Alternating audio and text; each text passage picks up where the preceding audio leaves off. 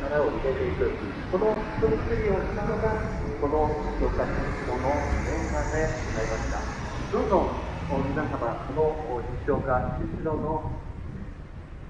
この今度2期目の挑戦表明をいたしました西岡慎一郎の次の4年間にはこの庁舎新福祉会館が出来上がって開業まで至る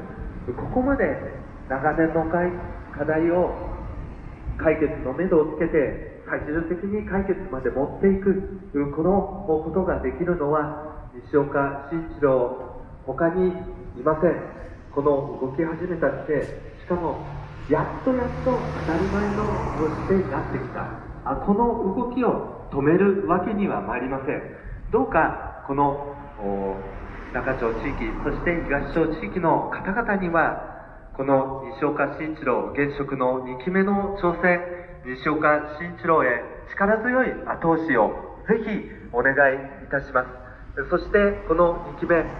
西岡慎一郎が築き上げたこの4年間の集大成として、この2期目を花を咲かせたいと思います。私もこの近くにおる存在でございますが、市長には厳しい目を持って、この西岡2期目しっかりやると、もっと頑張ると、そういう声をかけていきます。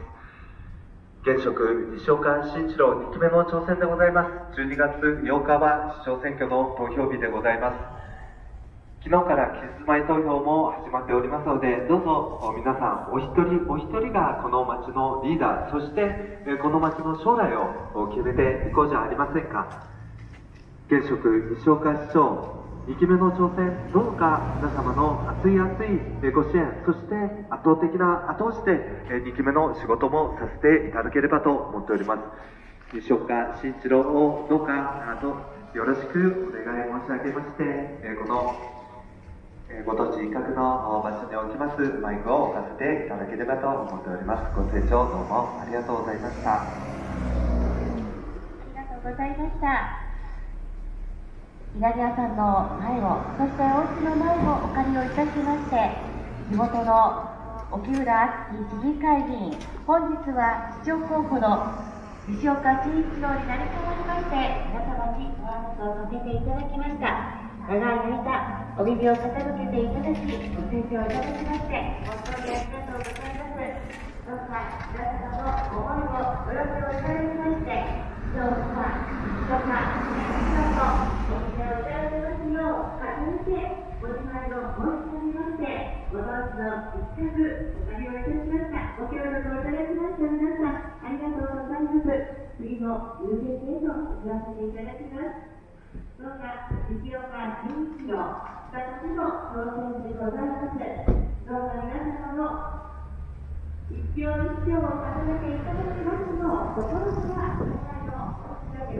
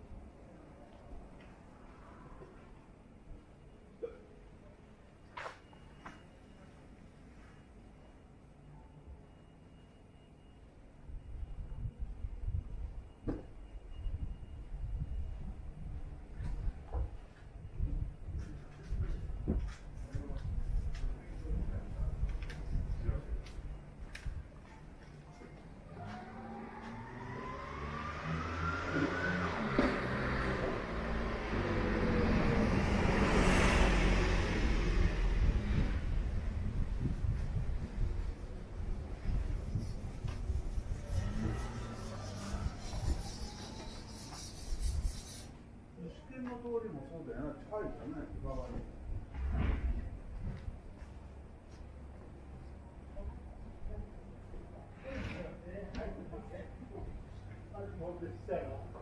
お肉だけで。あ、い。や、あれも